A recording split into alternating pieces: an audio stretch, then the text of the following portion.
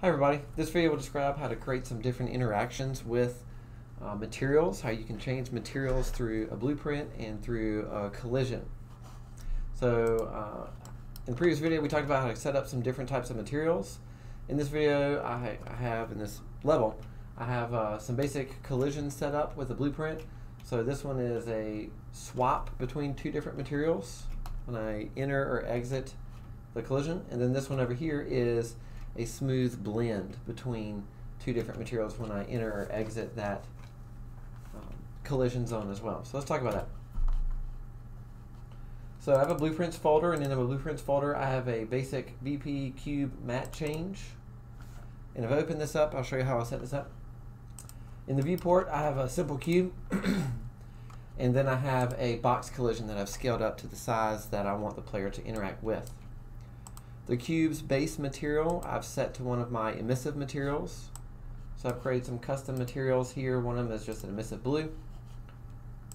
And I've set my base material for that cube in my blueprint to this emissive blue. This is a actor blueprint, so if you go to right click blueprint class and an actor blueprint, that's what I've created here. And then in the event graph is where we change that material when the player overlaps that collision. So with the collision selected in uh, the event graph, I've created a on component in, or whoop, let's go up some, on component begin overlap. Zoom in here so we can see it maybe. So with that collision selected, when the player overlaps this collision, I want to set the material, basically swap the material. When the player leaves this collision, I want to reset the material back to this emissive blue. So you need to have the materials, different materials created first. So I have my blue and I have my uh, red. And then in my blueprint, on begin overlap, I want to switch or swap this material to emissive red. So this is a set material. And if I delete this out, drag out from executable there, I can search for set material. And on the set material of what? I need to determine this needs to be on the cube object. I can take that cube target and put it there. And then I need to determine what material this is. So let's do M emissive red. Okay. And then when I end the overlap, I want to set it back to blue. So same set material with the cube, change it back to the default emissive blue. Let's just swap it out so it's a green one instead to show you the change. Uh, M emissive green because I have a green one as well. There Yeah. That's it. That's as simple as the blueprint needs to be. So then now if I come over here and play, I can find my cube. Now it should change to green. And this is just a swap on off change between one material to the next. Okay. What if you wanted to blend between two different materials? And this can work with any attribute that we create as a parameter in our material. So I've created a separate blend material.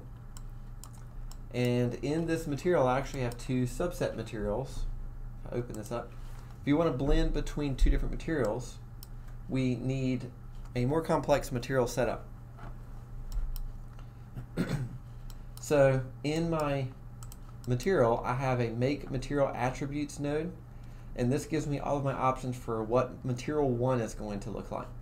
And this is just going to have um, a, uh, I'm using parameters for this as well, so I have a vector 3 parameter for color, and then I have a uh, constant 1 parameter for emissive.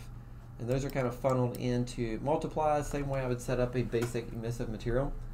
But the difference is, in this one material, I have two make material attributes, one for material 1, one for material 2 and then to convert these together, I'm going to create a blend material attributes node and then funnel the top one into A and the bottom one into B.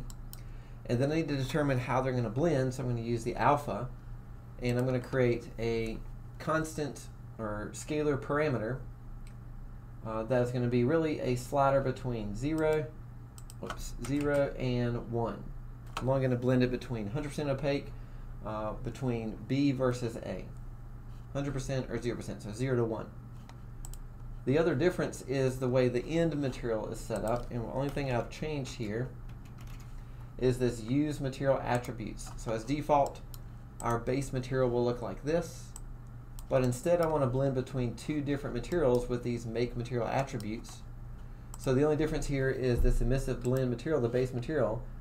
In the details panel, I'm going to search for attributes, and I'm going to checkbox use material attributes. Okay, so I'm going to checkbox that. And then I can connect this blend materials attribute to my M emissive blend materials attribute node. All right, so that's all I need for that material. I'll zoom out so you can see it. Okay. And then now what I can do is build a instance copy. I'm going to right click and choose create material instance and say we'll say you know, final here since I got a test one earlier. And in this material instance, I'm going to open up my parameters and then determine what material A looks like versus material B. So material A, let's do um, let's do a green, and material B, let's do a red. Okay, a little darker, a little bit more red. There you go. And then I can increase that emissive. So we'll do like um, 50. And then I'm gonna leave the blend value at zero, which means it's gonna be green, but if I change that blend value to one, that will change it to red. So this is a, uh, will be a scalar parameter that will blend back and forth between the two. I'm gonna leave that at zero. So let's save that. All right, so I have actually duplicated my uh, BP cube mat. So we actually create another one here from scratch. So let's duplicate this one, our previous one, and we'll say change blend red green. Okay. And then go ahead and drag that as a copy in my scene, but then I'm going to duplicate or open up my blueprint and make my adjustment. So it's the same exact setup as the previous one, but my material is now going to be, let's see, M, um, what did I call it? Blend, blend, yeah, M emissive blend final, and that's going to be the green to red blend. So I have my collision for where I want the player to interact with. The difference is going to be in the event graph and how I'm calling this. All right, so I'm going to use, I'm not going to use the set material anymore. I'm going to use a timeline and then the blend function. So I'm actually going to go open up the previous one that I have and then I'm going to make copies of this. So this is a timeline and then I'm going to need my set scalar parameter value on materials reference to the cube and then I'm going to change the value for the blend so that I know which parameter I need to blend between. So that's going to be my setup. From event begin overlap, I'm going to drag out and we'll add a new timeline. And we'll call this blend timeline.